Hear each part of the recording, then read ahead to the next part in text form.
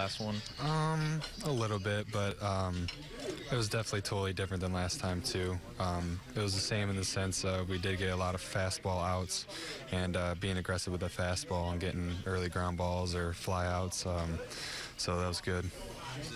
Two seamer was working for you again, as it was the last time. Yeah, definitely. Yeah, that's something that's came along pretty well lately, and uh, we've just been keep going back to it, and it's been working. So keep going to it.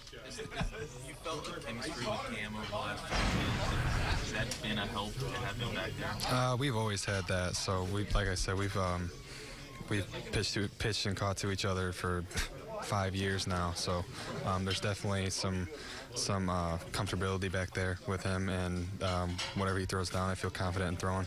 So how about when you see him hit a good grand slam there? Oh, it was awesome. So happy for him. Um, it was it was a big point in the game too, you know, um, to get those runs. And um, luckily, the next inning, I didn't get, get too much damage. Then you know, we got out of that and uh, and kept the, the pretty decently.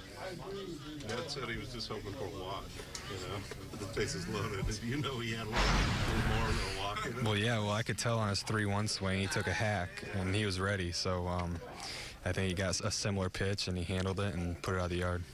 For you as a pitcher to be in a tightly contested game and all of a sudden turn around and with one swing you got a five-run lead, just how great is that feeling for you as a pitcher, especially when it's your catcher doing it? Yeah, it is great, but at the same time, you kind of got to treat it as it's still a tie game and go out there and try and get a shutdown inning.